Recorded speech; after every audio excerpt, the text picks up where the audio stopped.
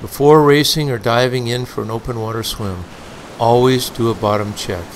There have been too many broken ankles from inshore holes, or serious wounds from reef, rocks, glass, or other debris during this brief sprint to the water.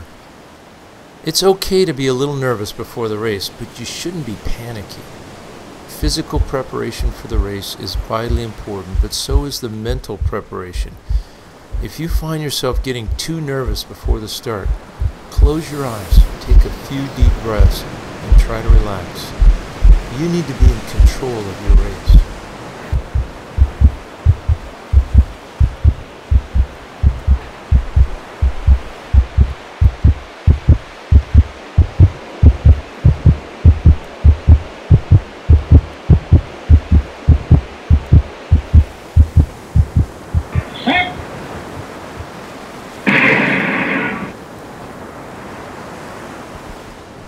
As you run into the water, always use the high stepping technique.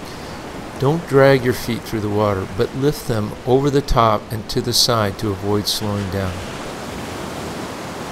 Know how to deal with waves. Even the smallest wave is very powerful and can knock you down. Once you're in deep enough water, it's always better to dive beneath the wave, holding your hands in front of you, but below the level of your head to prevent hitting the bottom. Most serious health issues occur at the beginning of the swim. If you feel you're out of your comfort level, whether from a physical or emotional state, don't try to be a hero. Call for the race safety officials or the lifeguards standing by. Opt out of the race. Your life is far more important than your pride.